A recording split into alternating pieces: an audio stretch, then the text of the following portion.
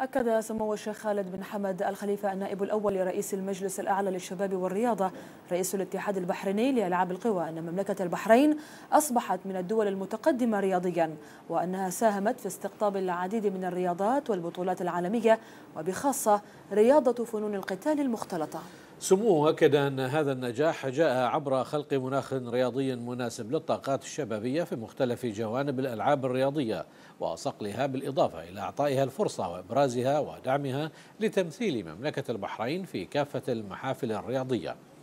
جاء ذلك خلال الاجتماع الذي عقد بمجلس سموه العامر بالرفع والذي جمعه بالسيد عبد الرحمن صادق عسكر الأمين العام المساعد للمجلس الأعلى للشباب والرياضة الأمين العام للجنة الأولمبية البحرينية بحضور العقيد خالد عبد العزيز الخياط رئيس الاتحاد البحريني لفنون القتال المختلطة والسيد محمد شاهد الرئيس التنفيذي لمنظمة خالد بن حمد لفنون القتال المختلطة والسيد فواز شمسان عضو مجلس إدارة الاتحاد البحريني لفنون القتال المختلطة حيث قدم رئيس اتحاد البحرين لفنون القتال المختلطة عرضا مفصلا تضمن رؤية الاتحاد والأهداف والإستراتيجية وبرنامج العمل للفترة القادمة مستعرضا أهم البطولات المزمع إقامتها في المملكة خلال العام القادم. وقد أكد سموه ضرورة البدء الفعلي في تنفيذ خطة العمل التي تم تقديمها مضيفا أن البحرين تمتلك مواهب وطاقات شبابية من شأنها أن تساهم في النهوض برياضة فنون القتال المختلطة. مشيدا سموه بجهود اتحاد البحرين للدفاع عن النفس برئاسة سعادة المهندس أحمد عبد العزيز الخياط.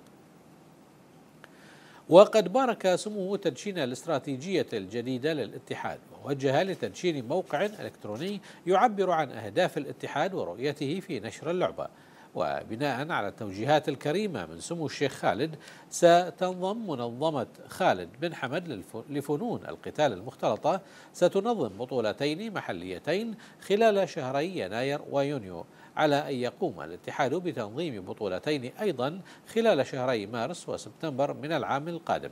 موجها سموه باستضافة عدد من البطولات القارية والدولية لعدد من الألعاب المنضوية تحت مظلة الاتحاد. نحن في اللجنة الأولمبية سعيدين بتوجيهات سموة وإن شاء الله نعمل على تحقيقها ونعمل مع الإخوان في الاتحاد مع العقيد خالد ومجلس الإدارة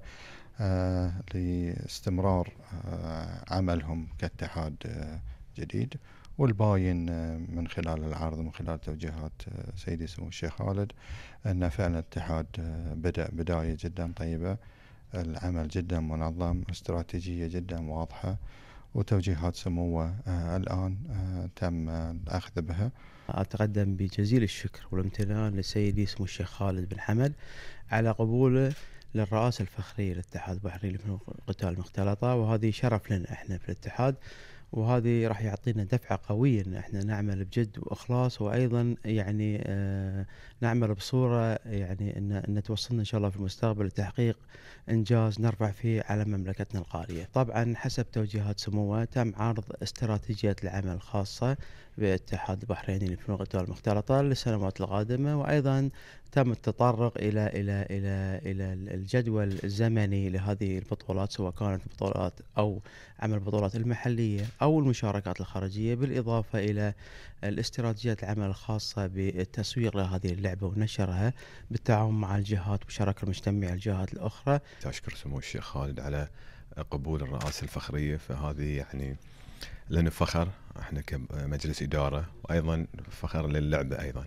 فهذه بيعطينا إحنا يعني دافع إن نبذل المزيد للارتقاء بهذه اللعبة إحنا دورنا